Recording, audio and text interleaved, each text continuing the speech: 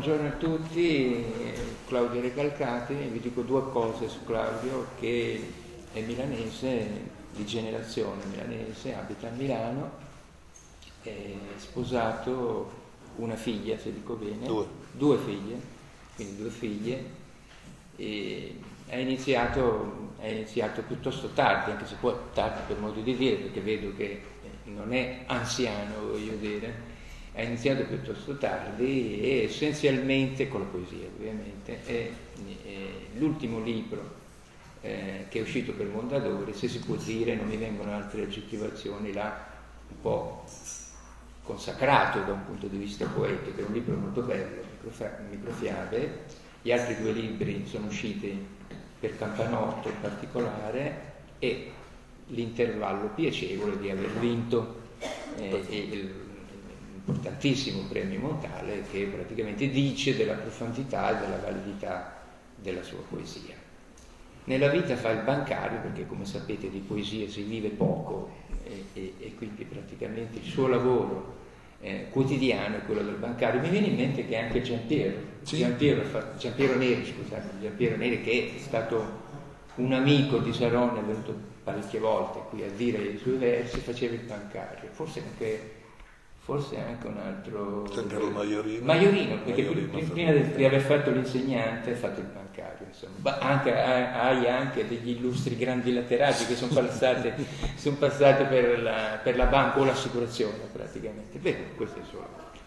Io più di altro non devo dire perché a questo punto ti faccio leggere le tue cose iniziando eh, dal percorso che come sai quest'anno è il percorso del ritornare con la memoria ai versi di chi non c'è più, che poi significa anche che il poeta in qualche modo eh, riconosce, insomma, co- come dire, una- uno start-up dello- della propria vicenda poetica eh, ad altri versi che lo hanno in qualche modo avviato, che rappresentano ancora oggi probabilmente un punto di riferimento. Credo che si riferisca per quanto riguarda Claudio Garcati a Govoni e in particolare a Sapa. Ho detto bene? Campana. Campana. Campana. E quindi Campana. Ho detto proprio tutto. Parto con eh, due poesie, innanzitutto vi ringrazio per essere qua. Parto con due poesie eh, di due poeti che hanno particolarmente influenzato eh, i miei testi, al di là di citare i soliti Montale, Saba, Ungaretti e così, sono due poeti che si- vengono poco letti ma che hanno veramente influenzato la mia scrittura. Uno è Dino Campana, è una breve poesia, la leggo intera. È o poesia, tu più non tornerai. O poesia, tu più non tornerai, eleganza, eleganza, arco teso della bellezza, la carne è stanca, s'annebbia il cervello si stanca, palme grigie senza odore si allungano davanti al deserto del mare, non campane, fischi che lacerano l'azzurro, non canti, grida, e su questa aridità furente, la forma leggera dei sacri occhi bruni ondulante, portando il tabernacolo del seno. I cubi degli alti palazzi torreggiano, minacciando enormi sull'erta ripida nell'ardore catastrofico. E l'altra invece di Corrado Govoni, e nel- Corrado Govoni mi ha influenzato per alcuni toni ogni tanto un pochino più eh, allegri, questa non è una delle sue poesie allegre perché è dedicata alla morte del figlio ucciso nelle fosse ardetine. Se una cava di rossa pozzolana incontro intorno a Roma e sono tante, il cuore mi si stringe perché vedo in essa rinnovarsi il tuo martirio. Se mi guardi, scoppi, cacciatore, se giù dal cielo un'ala ebbra di canto sbatte un rombo di zampillante mina di nera terra, il cuore mi si spezza, che in ogni colpo innocuo o sanguinoso sento l'eco di quello che tu uccise. Che cosa t'hanno fatto, figlio mio, gli uomini e a me, che cosa ha fatto Dio?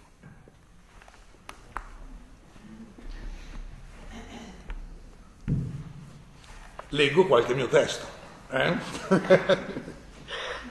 a partire da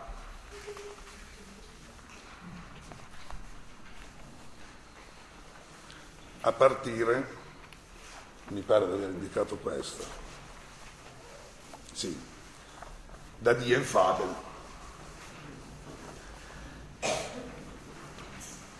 È porre fine alla crudeltà questo noi due felici fra tanti volti, arresi alla felicità non credi senza muoverci danziamo un valzer, qualche canzone popolare, una ballata americana col ritocco d'un celtico suono provinciale.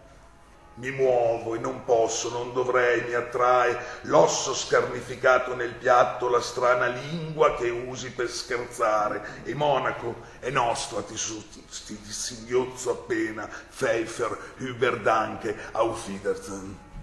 Per la cronaca gli ultimi quattro versi, non sapendo io il tedesco, sono soltanto fonetici così, sono inventati e collegati uno all'altro.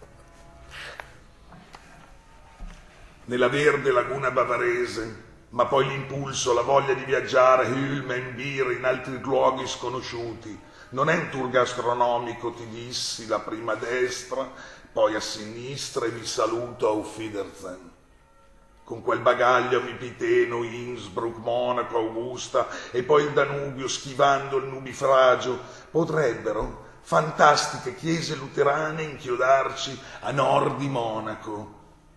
Ma è tutto un dolce di inocolarsi. Sveitwalter in Zimmer frei troppa caviglia e esile muso. Accuso il colpo, che meraviglia. Dopo le otto è tutto chiuso. Nemmeno un gatto osa. Grazie.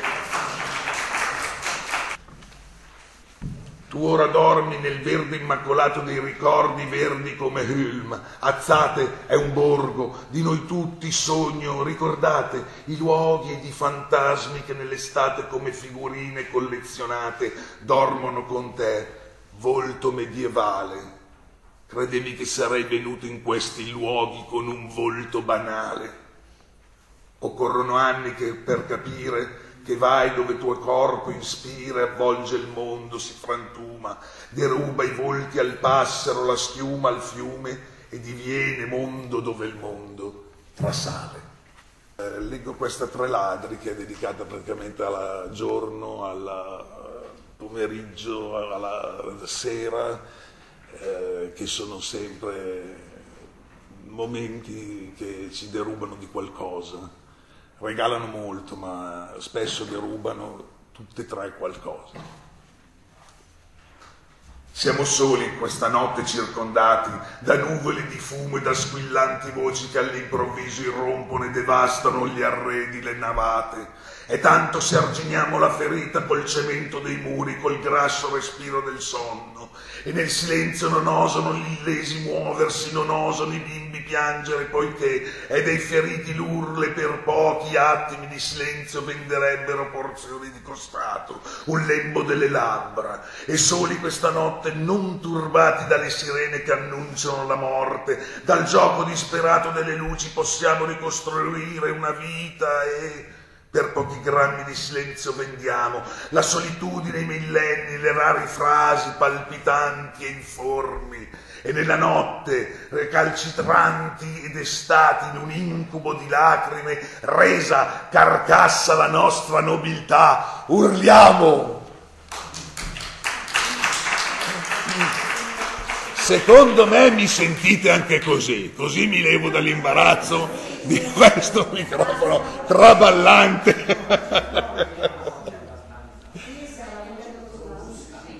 Facciamo la prova, dai. L'alba. Sono tre le soluzioni credibili, le intuisco osservando le palpebre di mia figlia, la più piccola, il corpo disteso di mia, moglie, di mia figlia maggiore, il gomito rigido di mia moglie, elaborare il sonno, godere il sonno, combattere col sonno. All'alba i volti si narrano, i gesti scompongono le imperfezioni, ci si scambia il dono dell'affetto e il sorriso è un mercato di silenzi. Chi sveglia il padre? Chi gli svela che questa notte ha urlato?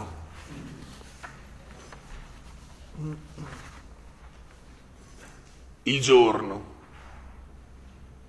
La luce irrompe a strisce, restituisce i corpi al giorno, divora, febbre degli arti, ingoia il tempo del respiro, muove la glottide cannibale, stira le membra, ci precipita nel multicolore dei vicoli inondati.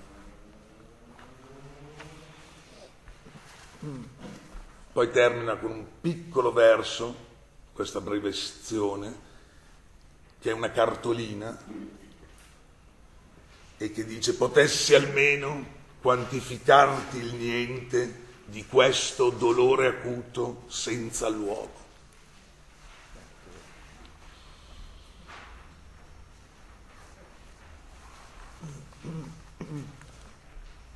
Dov'è? L'altra sezione. Sì, la, questa è una poesia a sé stante, in una, in una delle tante sezioni. È una poesia che è dedicata a mia figlia più piccola, a Sofia, che tra l'altro è lì, eh, lo sapevo che si, si, nascondeva, è un, è un, classico, però lei mi segue, è una delle mie, come i Rolling Stones, ho le gruppi e mi seguono. si intitola Piumino iracondo. Muta lo stato d'animo, non il sogno. Non posso raccontarti mirabolanti fiabe di un contorno di bambini in pasto all'orco. Posso narrarti sul ritmo incandescente dei passi di tua madre, un tip-tap che ritma i giorni, elude le paure, travolge, non conoscendo altre discipline che punta e tacco, punta. Dio, come siamo eleganti, mamma, siamo eleganti. Mi fa un po' pena l'orco, routine anima e baffi.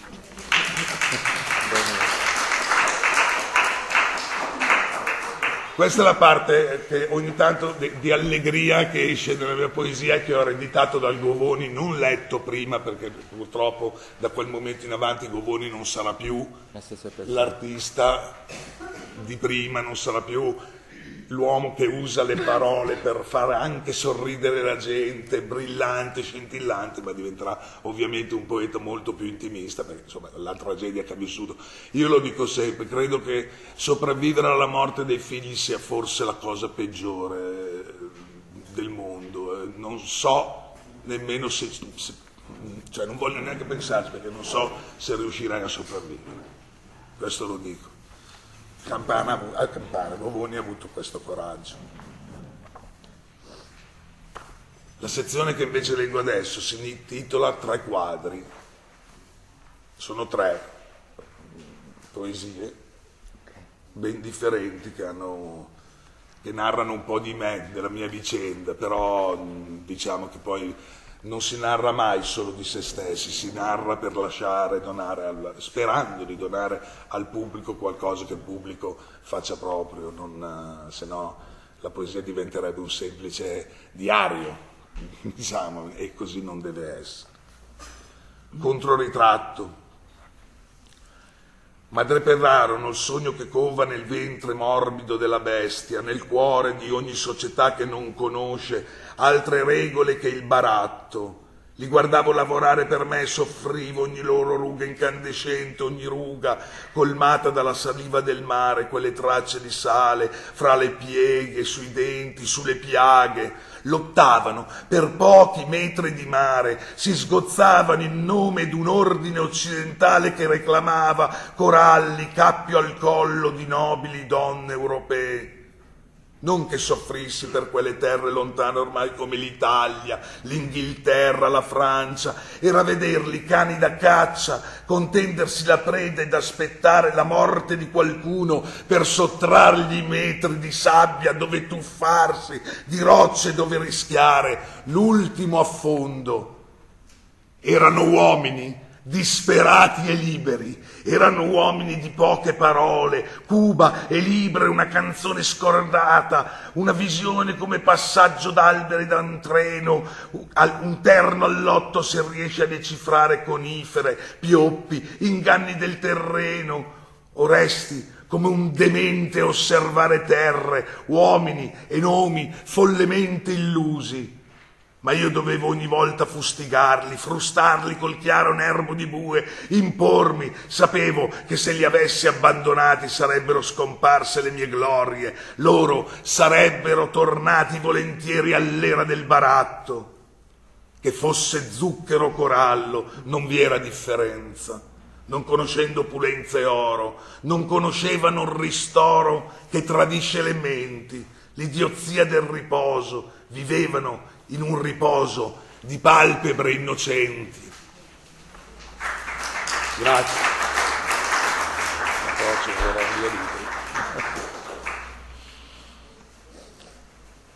Autoritratto, cartolina da Moltrasio. Moltrasio è un paese, tutti voi lo saprete probabilmente, sul lago di Como, dove ho vissuto gran parte dell'infanzia sapessi, sono tornato e non è molto, ma molto è mutato. Il paesaggio è ben più oltre la prospettiva. Ricorderai senz'altro le querce secolari, nient'altro che una geometria di scardi pioppi e riflessi. Quanto perdersi e innamorarsi. E oggi sono chiazze, lago, una palude. Potresti morirne tu che continui a rovistare nei ricordi e se nel fondo delle tasche trovi briciole non riesci poi a morderle. Solo il gambaratro conserva intatta la sua bellezza ed è un monito come l'attenti al cane sui cancelli delle ville padronali. Ho udito la tua voce come allora. Ho avuto paura sulla stretta via la stessa che pareva un'autostrada, la stessa dove l'urlo dei freni ti colpiva o il figlio del lattaio soccorrevi col cuore in gola e già intuivi che nulla porta al bene come il male. Non ho pianto per senso del pudore, quel sentimento sul quale ti accanisci ore e ore lasciandomi sorpreso ti riconosco, mentre attraversi il viale temi le formiche, le loro voci e tutte le falene spaventate, l'abbecedario dei caduti. Non più saprai il brivido sottile scivolo sulla colonna vertebrale immensa scossa, ma riconoscerai d'una per d'una la tua fragile radice d'ossa.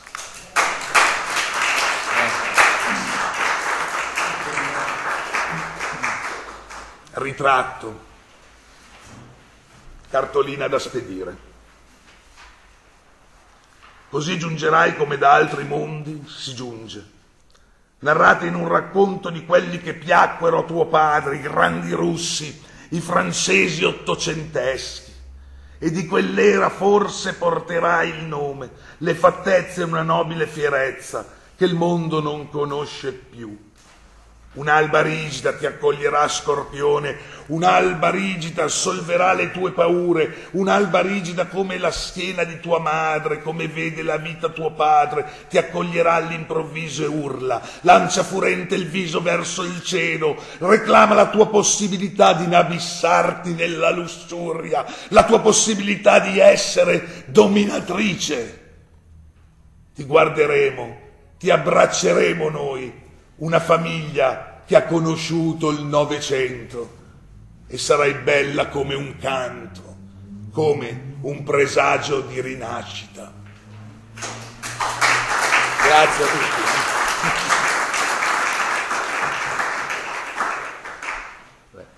io direi mettiamo da parte un momentino questo libro, poi casomai ci ritorniamo perché ho visto una cosa che volevo farti leggere.